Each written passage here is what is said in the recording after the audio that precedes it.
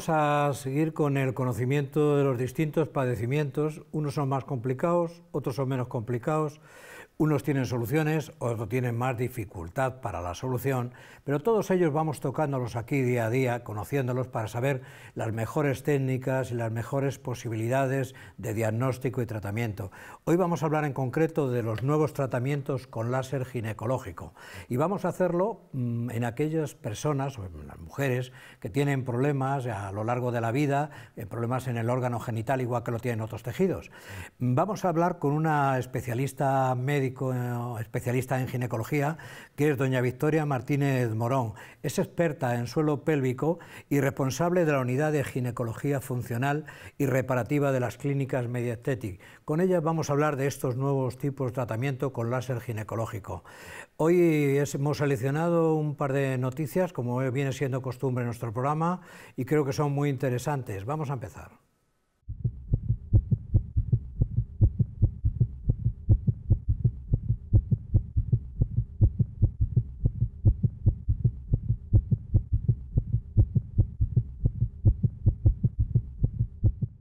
Agresiones hacia profesionales en el ámbito de la salud. La violencia hacia los profesionales del ámbito de la salud genera creciente alarma. Estimar su verdadera dimensión es complejo, dado que la gran mayoría de estos eventos no se registran e incluso los más graves no suelen informarse a las autoridades. Su frecuencia es variable en las publicaciones, en parte por las definiciones de violencia utilizadas y las poblaciones evaluadas.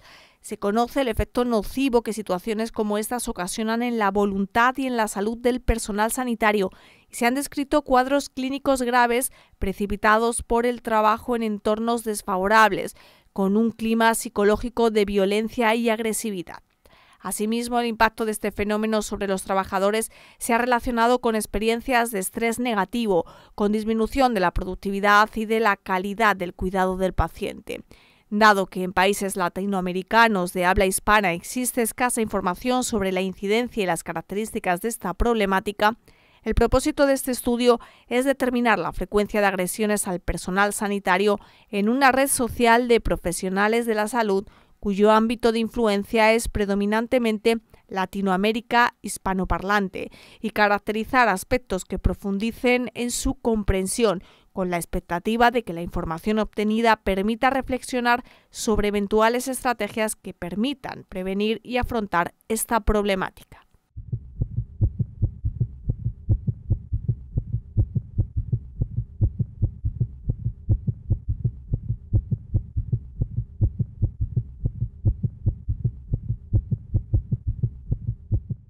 Vivir con enfermedad coronaria.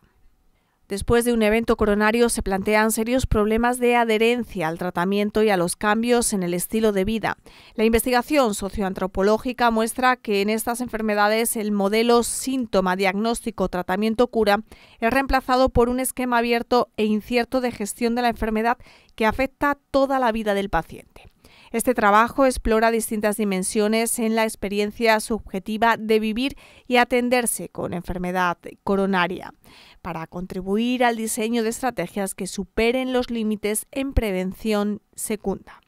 Un episodio grave de enfermedad coronaria puede resultar en una experiencia que desorganiza las estructuras de la vida cotidiana del sujeto y las formas de conocimiento que la sostienen, un replanteo en su biografía e identidad y la movilización de recursos materiales, cognitivos y relacionales ante la incertidumbre.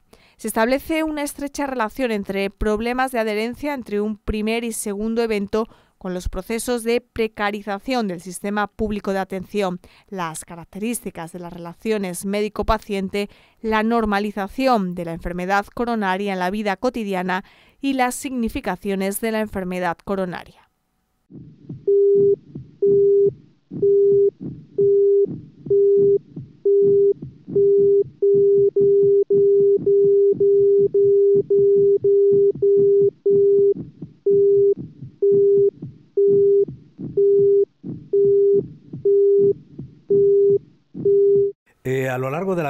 Zona genital femenina y otras partes del cuerpo se van deteriorando, lógicamente, por esas situaciones, por los nacimientos, los embarazos y la edad, que también eh, pide su terreno en ese campo.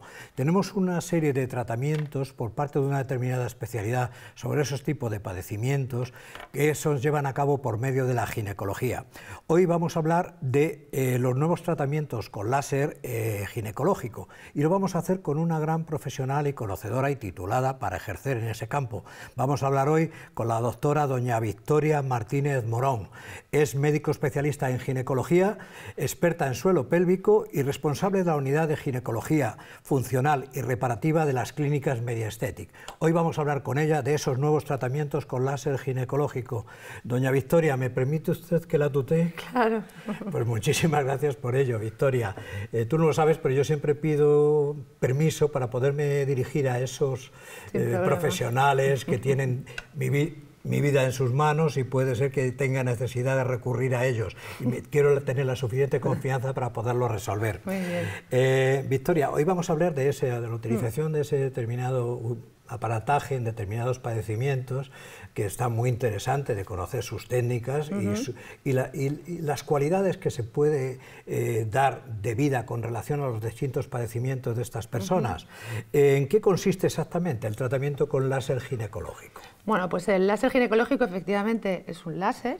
El láser no deja de ser otra cosa que luz. Lo que pasa que el láser que nos suena a nosotros es más el láser quirúrgico, ¿verdad?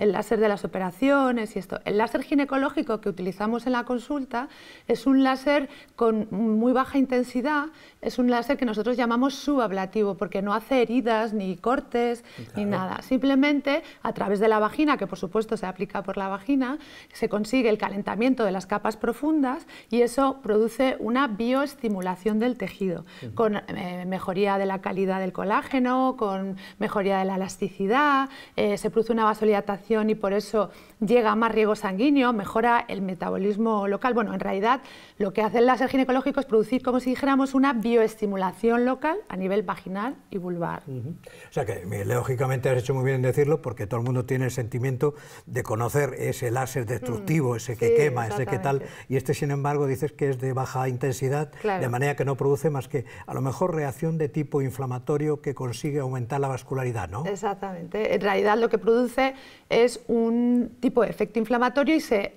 desarrolla toda la cascada inflamatoria con aumento del colágeno, aumento de los fibroblastos, bueno, todo lo que significa la bioestimulación de los tejidos en general. Muy bien. Mm, son múltiples, tengo entendido, las mm. múltiples, las dolencias que se pueden tratar con mm. este tipo, con este aparataje. Eh, ¿Cuáles son las más frecuentes? ¿Son cuáles están indicadas? Sí. Bueno, en realidad hay tres eh, eh, eh, causas, o sea, dolencias básicas en las que está, es más frecuente, efectivamente. Entonces, la primera sería en la menopausia, que ya sabemos que por la bajada de estrógenos, la vulva y la vagina se atrofian y las pacientes tienen síntomas de sequedad, de irritación, de escozor, de molestia con las relaciones sexuales. Eh, todo esto se debe, como he dicho, a una bajada de los estrógenos que se producen en la menopausia.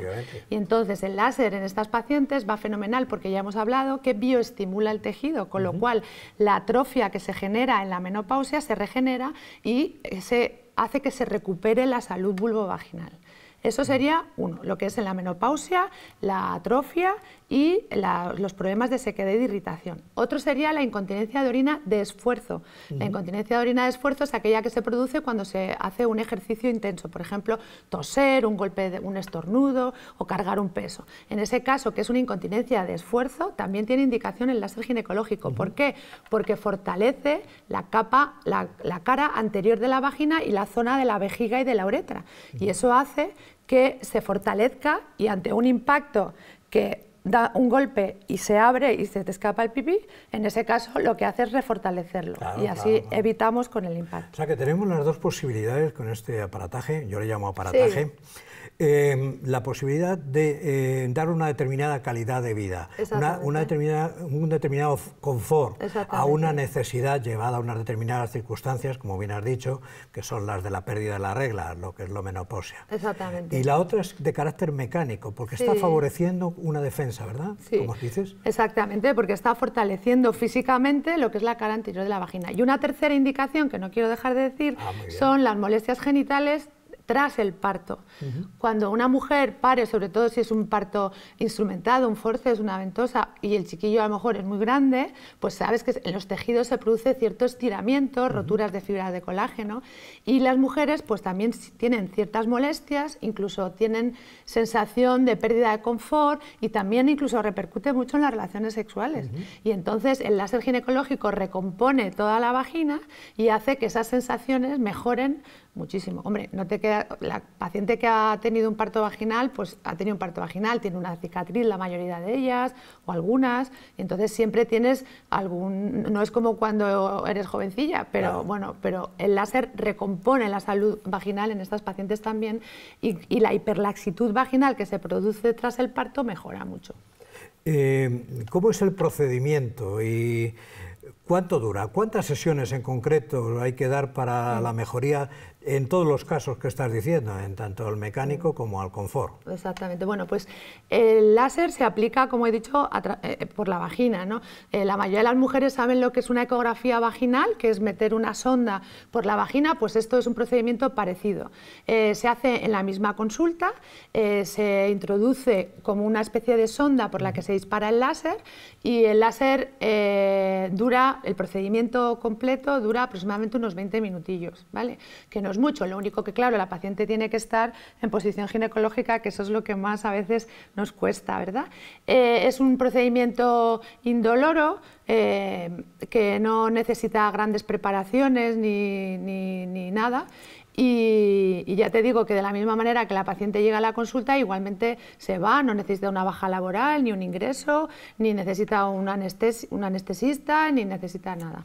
Estamos hablando que en concreto esto se puede realizar en una consulta ginecológica normal. autorizada, lógicamente, yo siempre insisto, porque en estas actitudes suele haber mm, algún tipo de de, eh, intrusismo, que no quiero referirme así porque creo que además el profesional que quiere hacerlo bien no tiene que estar implícito en esas dudas con respecto a su profesión, pero realmente existe, tú lo sabes.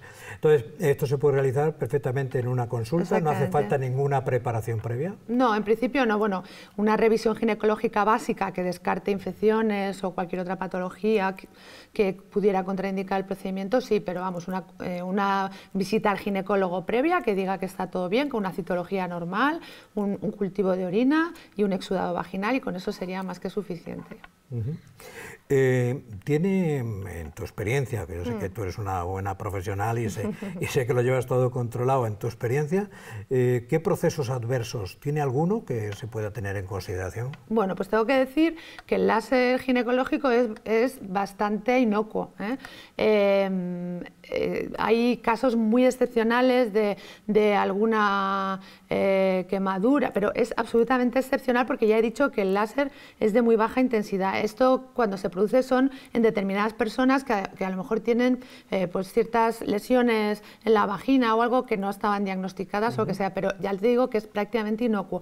Lo que sí que produce es un poquito de irritación, un poquito de escozor, un poquito de ardor, eh, incluso a lo mejor expulsión de un poquito de líquido por la vagina las primeras 48 horas nada más, ¿vale? O sea, que, pero que es una molestia que en absoluto, o sea, tú te incorporas a tu vida rutinaria normalmente, o sea, no tienes que hacer baja laboral ni nada, por supuesto, o sea, si te lo haces por la tarde, al día siguiente estás trabajando normalmente. Lo que sí que se recomienda después del procedimiento es pues que evitar eh, baños sumergidos, evitar, por supuesto, tener relaciones sexuales durante 4 o 5 días, evitar meterte nada por la vagina, óvulos, o cremas, ¿eh? en definitiva, pero vamos, que son cosillas eh, Son medidas propias y preventivas, pero que, muy poquita cosa. Eh, ¿Tiene algún tipo el láser este ginecológico de, aspecto, de, de efecto secundario o no?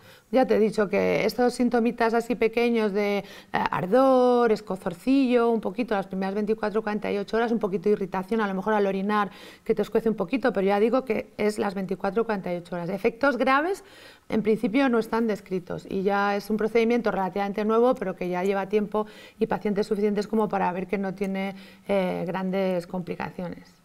¿Hay alguna precaución en concreto que tenga que tomar la paciente por parte de ella antes de someterse a este tipo de tratamientos? No, en principio por ella no, ya hemos comentado, una revisión ginecológica básica, y que si está todo bien no habría inconveniente en realizar el procedimiento.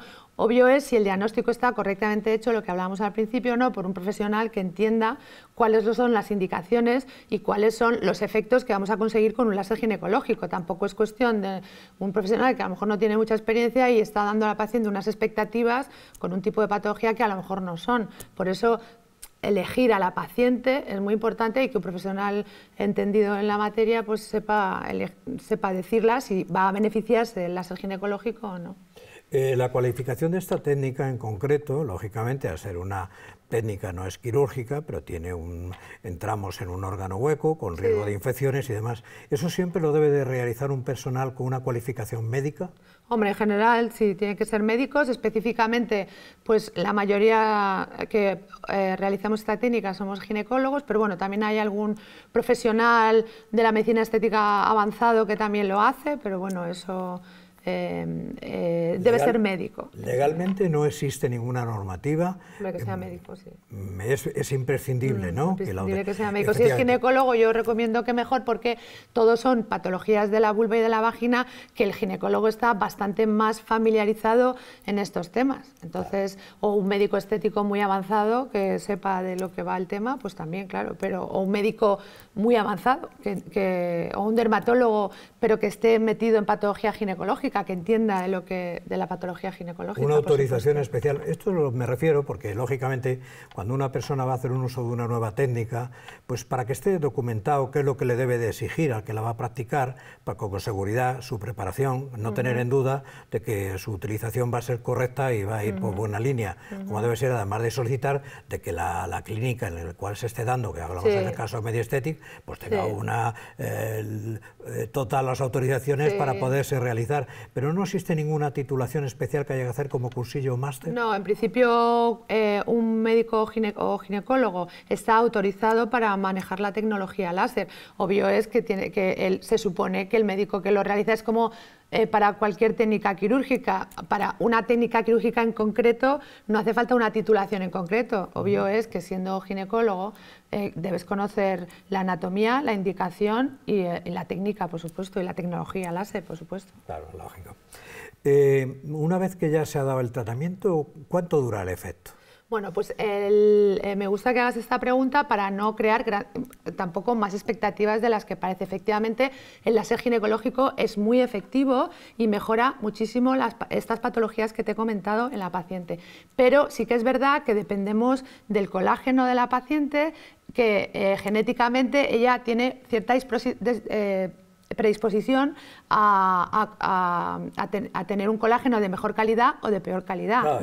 yo siempre he dicho esto, corto porque siempre se opina como que los protocolos es lo correcto, lo que hay que hacer a tal edad total. Yo siempre estoy en la lucha, y en este programa en concreto, de que somos personas, ni números, ni nombres, ni fechas. Evidentemente no somos todos igual, y como muy bien dices, pues habrá personas que necesiten más o menos o que duren más o menos. Eso que, Perdona, perdona.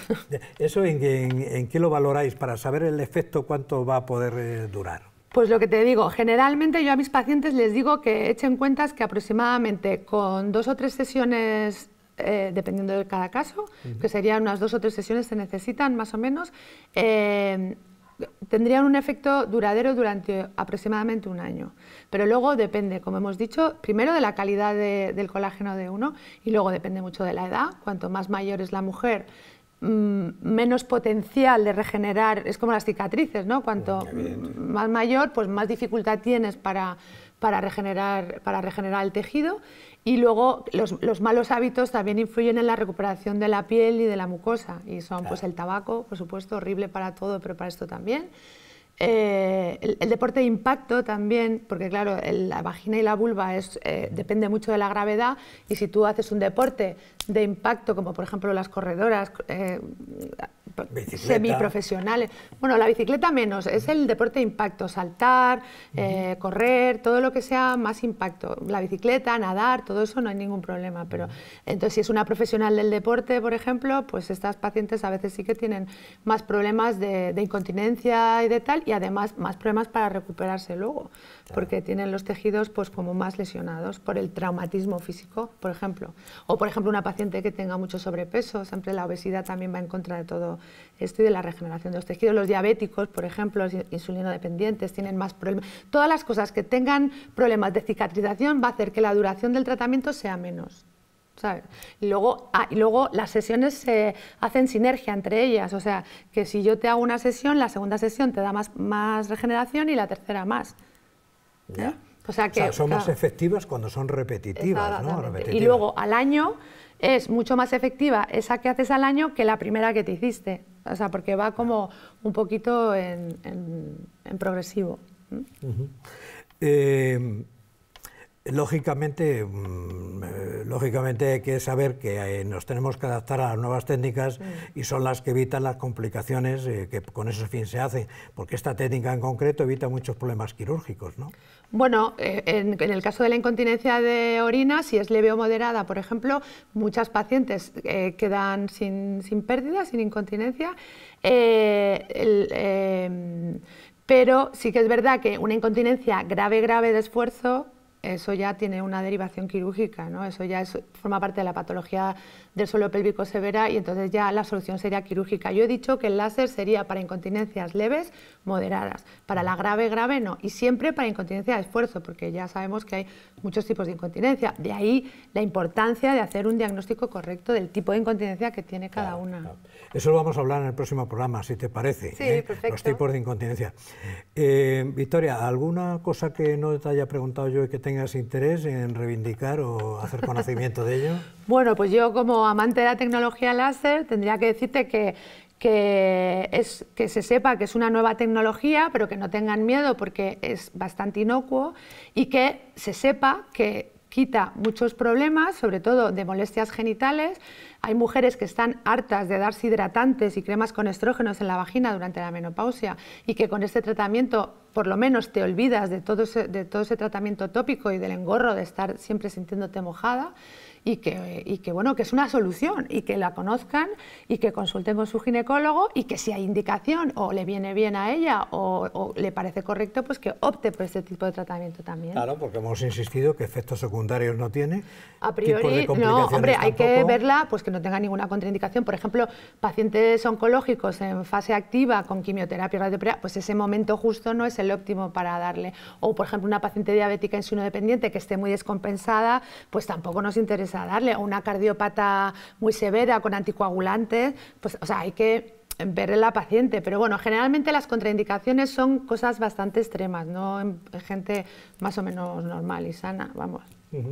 Es muy interesante desde el punto de vista de las dispareumias, esta que estamos hablando, que es muy frecuente en, ese diagnóstico, que las mujeres realmente, pues es una de las cosas que más les preocupa. Yo no soy mujer, no lo sé, pero lo oigo decir. Entonces, eh, aquí es una técnica agradecida. Sí, la dispareunia generalmente se, se produce por muchos motivos, pero uno de ellos es, como hemos hablado, en la menopausia, por la atrofia genital que se produce por la bajada de estrógenos, eh, tienen molestias con las relaciones sexuales. Al quitar la molestia, al bioestimular el tejido, esa molestia se quita. Claro, ¿vale? y, luego, por ejemplo, hay otras mujeres que a lo mejor tienen dispareunia que son eh, por las cicatrices de los partos, que también puede ser, que le quede una cicatriz retráctil y entonces eso con el láser también se suaviza la cicatriz, se hace más elástica y evita la molestia también de las relaciones sexuales en este tipo de pacientes. Entonces, mm, es una solución que por otro lado es inocua, que se hace en la consulta, que no necesita anestesista, que no necesita eh, darte de baja ni hospitalizarte, entonces es, muy cómodo y, es una opción de tratamiento. No, obvio, es que no es para toda la población, pero que con un diagnóstico correcto sí que se puede sacar muchas ventajas de este tipo de tratamiento. Claro. Eh, Victoria, yo creo que es muy interesante el toque que hemos dado, porque hay personas, estas cosas que parecen tabúes, que no se pueden hablar, me cuesta trabajo luego también conocer las distintas técnicas que son suficientemente agradables como para someterse a ellas siempre que no tenga ningún perjuicio. Mm, bienvenida aquí al programa, es la primera vez que vienes, pero estás invitada y tienes las puertas abiertas para visitarme cuando quieras. Muchísimas gracias. Porque además tengo mucho interés en aprender, tú no lo sabes, pero quiero acabar la carrera como quiera que sea este año. Así que muchas gracias por haber venido, Victoria, y si te parece, nos vemos en el próximo programa y hablamos de esas incontinencias que has comentado y la posibilidad de otros tipos de tratamientos, opciones a otros tipos de tratamientos. Bienvenida y muchas gracias por tu visita. Muchas gracias a ti. Gracias, Victoria.